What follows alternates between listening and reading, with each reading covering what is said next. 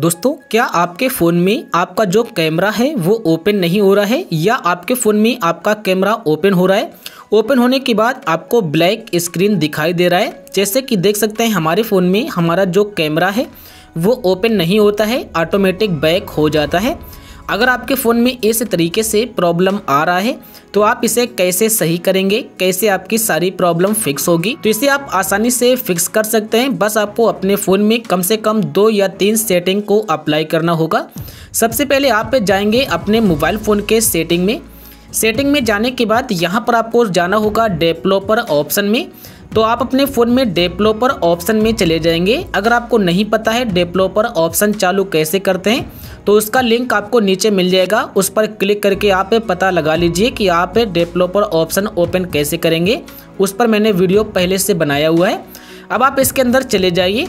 जाने के बाद यहाँ पर आपको एक सेटिंग मिलेगा तो थोड़ा सा नीचे आइए। नीचे आने के बाद यहाँ पर आपको मिलेगा एक क्विक सेटिंग डेवलपर टाइटल्स, आप इस पर क्लिक करिए। यहाँ पर आपको एक सेटिंग मिलेगा, सेंसर ऑफ़, और ये सेटिंग आपका चालू होगा। तो इस सेटिंग को आप यहाँ से बंद कर दीजिए। बंद करने के बाद फिर आप यहाँ से बैक आ जाइए। बैक आने के बाद अब आपको अपने जाना होगा मोबाइल फ़ोन के कैमरे में, और अब यहाँ से अपना कैमरा ओपन करेंगे। तो देख सकते हैं, अभी भी हमारा कैमरा ओपन नहीं हो रहा है। तो आपको जाना होगा फिर से अपने डेवलपर ऑप्शन में, और फिर से आप इसी सेटिंग में और फिर से आप इसे चालू करेंगे। अब आप नोटिफिकेशन पैनल को नीचे करेंगे। यहाँ पर यह सेटिंग मिलेगा। आपको एक, आप इसे यहाँ से बंद कर दीजिए। बंद करने के बाद फिर आप इसे यहाँ से बंद कर दीजिए। अब आप बैक आ जाइए और अपने कैमरे को ओपन करिए। अब आप यहाँ पर देखेंगे, हमारा कैमरा ओपन हो चुका है और आसानी से हमारा कैमरा यहाँ पर चलना भी स्टार्ट हो चुका है। तो पहला काम ये है, आप अपना ये कर लीजिए। उसके बाद फिर भी अगर आपका ना चले तो आपको यहाँ से बैक आना है। बैक आने के बाद फिर आप अपने अपने मोबाइल फ़ोन के कैमरे पर लॉन्ग प्रेस करेंगे। लॉन्ग प्रेस करने के बाद आई बटन मिलेगा, आप इस पर क्लिक करेंगे। क्लिक करने के बाद आपके सामने ऐप इन्फो निकल कर आ जाएगा, जैसा कि आप देख पा रहे होंगे।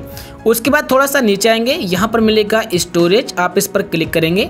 इस पर क्लिक करने के बाद क्लियर चेस पर क्लिक करेंगे। उसके बाद क्लियर डेटा मिलेगा, आप इस पर क्लिक करेंगे और ओके करेंगे। इतना काम करने के बाद यहाँ से बैक आ जाइए। बैक आने के बाद आपका अगर रेडमी का मोबाइल फ़ोन है तो आपको यहाँ पर एक ऑप्शन मिलता है कंपनी के तरफ़ से।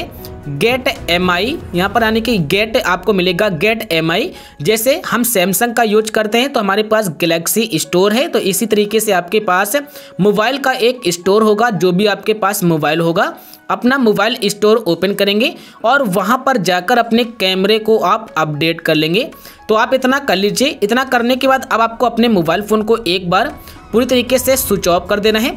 यानी कि स्विच ऑफ़ करके आपको फिर से चालू कर लेना है। इतना काम कर लीजिए, फिर आप चेक करिए कि अब आपका कैमरा अच्छे से काम कर रहा है या नहीं। अगर बाई चांस आपका कैमरा अभी भी काम ना करे तो आपको जाना होगा फिर अपने मोबाइल फ़ोन के अंदर सेटिंग में। तो यहाँ से हम आते हैं बैक बैक आने के बाद चलते हैं मोबाइल की सेटिंग में।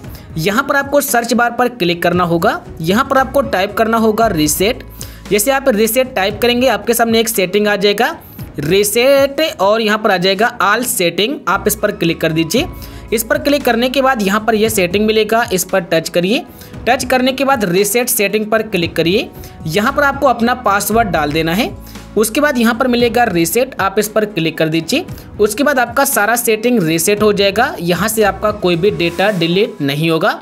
और इतना काम करने से फिर आपका अपना जो कैमरा है, वो अच्छे से काम करना स्टार्ट कर देगा। बस आप एक बार अपने मोबाइल फ़ोन को स्विच ऑफ़ करके ऑन कर लीजिए, क्योंकि कभी कभी हो जाता है कि हम सेटिंग को चालू कर देते हैं और या हम उसे बंद कर देते हैं और हमें पता नहीं चलता है, या कोई ऐसा कर देता है और हमें पता नहीं चलता है। तो बस इतना काम कर लीजिए, आपका सारा प्रॉब्लम फिक्स हो जाएगा। अगर बाई चांस फिर ना हो तो आप हमें कमेंट करके अपने मोबाइल का नाम बताइए। हम उस मोबाइल पर एक नया वीडियो बनाएँगे। तो मिलते हैं नेक्स्ट वीडियो में।